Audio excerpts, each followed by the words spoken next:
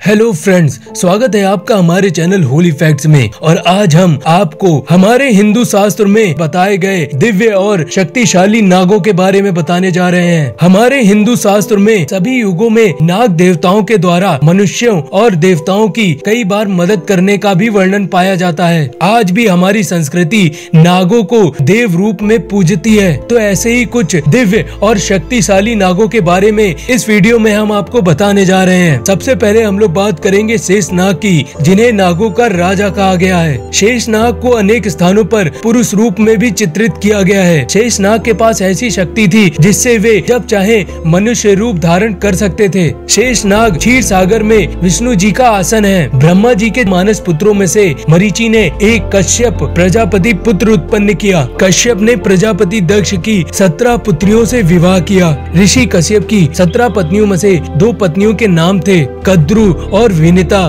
कद्रु सर्पों की माँ थी और विनीता गरुड़ की। एक बार कद्रु और विनीता जंगल में भ्रमण कर रहे थे। वहाँ उन्हें एक सफ़ेद रंग का घोड़ा दिखाई दिया। विनीता ने उस घोड़े को देखकर कहा कि ये घोड़ा पूर्ण रूप से सफ़ेद है। लेकिन कद्रु ने कहा, नहीं, इसकी पूछ काली है और बाकी का शरीर सफ़ेद है। कद्रु ने अपनी बात को सही सिद्ध करने के लिए अपने नाग पुत्रों को उस घोड़े की पूछ में जाकर लिपटने को कहा, जिससे वे पूछ काली दिखाई देने लगे। लेकिन उनमें से कुछ नागों ने ऐसा करने से और असत्य का साथ देने से मना कर दिया। तो कद्रु ने क्रोधित होकर उन्हें यज्ञ में भस्म हो जाने का श्राप दिया। कद्रु से एक हज़ार शक्तिशाली नाग उत्पन्न हुए थे। इसीलिए उन्हें नाग माता भी कहा जाता था। इन हज़ार नागों में सबसे शक्तिशाली शेष नाग थे। कहा जाता है कि हमारी पृथ्वी शेष नाग के ऊपर ही टिकी हुई है। कहा जाता है कि इन सर्पों का मूल स्थान कश्मीर था। अनंत नाग नामक स्थान को इनका गढ़ कहा जाता है। कालिका पुराण में ये उल्लेखित है कि जब प्रलय के प्रकोप से पूरी सृष्टि नष्ट हो जाएगी, तब भगवान विष्णु और लक्ष्मी शेष नाग के फनों की छाया के नीचे शरण लेंगे। शेष नाग अपनी माँ और उसके भाइयों के छली स्वभाव के कारण बहुत दुखी हुए और अपने भौतिक जीवन को छोड़कर भगवान ब्रह्मा की तपस्या में लीन हो गए। भगवान ब्रह्मा ने उनसे प्रसन्न होके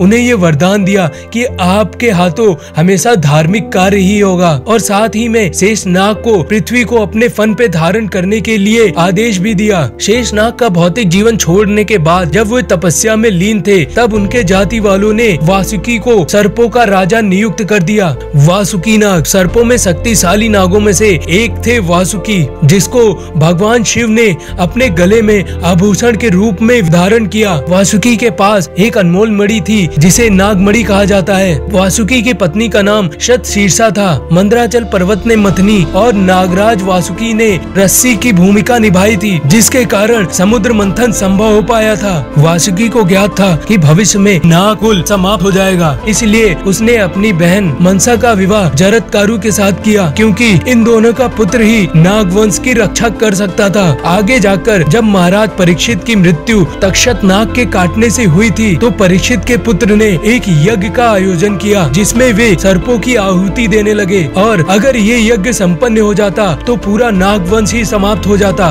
किंतु जगत कारुक के पुत्र आस्तिक ने उनसे प्रार्थना कर इस यज्ञ को रुकवाया और अपने नाग वंश की रक्षा की। शायद आपको नहीं पता होगा कि मनसा को नागों की देवी कहा जाता है। उत्तराखंड में मनसा देवी का मंदिर है। वो मनसा देवी वासुकी की बहन ही थी, तक्षक नाग। हिंदू धर्म के प्रमुख नागों में से तक्षक नाग भी एक शक्तिशाली और प्रमुख नाग थे। कद्रु का ये पुत्र पताल में निवास करता है। तक्षक नाग ने भगवान विष्णु के ध्यान मैदान में बैठे राजा परीक्षित को डस लिया था, जिससे उनकी मृत्यु हो गई थी। तब परीक्षित के पुत्र जन्मे जय ने नागो को नष्ट करने के लिए एक यज्ञ किया, जिसमें नागो की आहुति देने लगे। ये देखकर तक्षक नाग ने इंद्र की शरण लेकर स्वयं की रक्षा की, लेकिन मंत्रों का प्रभाव इतना तीव्र था कि इंद्रदेव और तक्षक नाग यज्ञ की ओर आने लगे। इंद्रदेव भयभीत होकर तक्षक का साथ छोड़ देते हैं और तक्षक यज्ञ की अग्नि की ओर खींचा चलाता है। तभी आस्तिक अपने नाग कुल की रक्षा के लिए वहाँ पर उपस्थित हो जाता है। लेकिन वहाँ के द्वारपाल उसे अंदर नहीं आने देते हैं। तो वो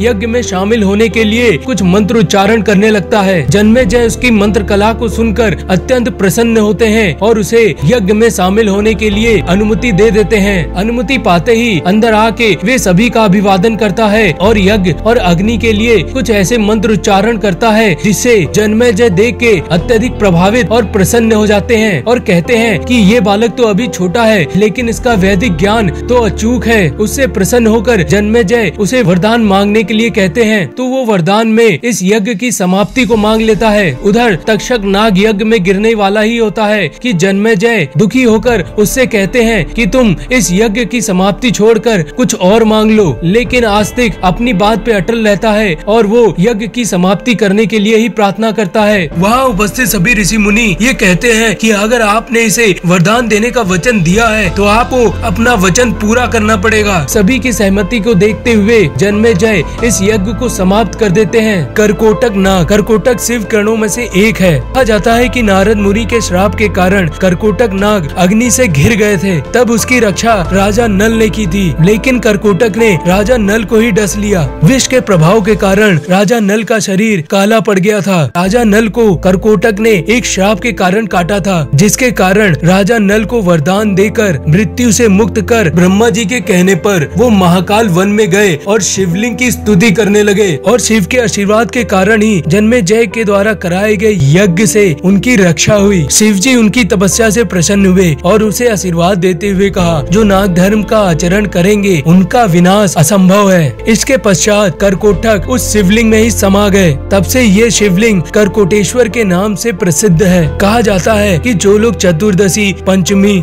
रविवार के दिन इस शिवलिंग की आराधना करते हैं, उन्हें नाग हानि नहीं पहुँचा सकते। तो फ्रेंड्स आपको हमारा ये वीडियो कैसा लगा? वीडियो अच्छा लगे तो वीडियो को लाइक कमेंट और ज़्यादा से ज़्यादा लोगों तक शेयर कीजिए और चैनल को सब्सक्राइब करना मत भूलिएगा। तो मिलते हैं नेक्स्ट वीडियो में।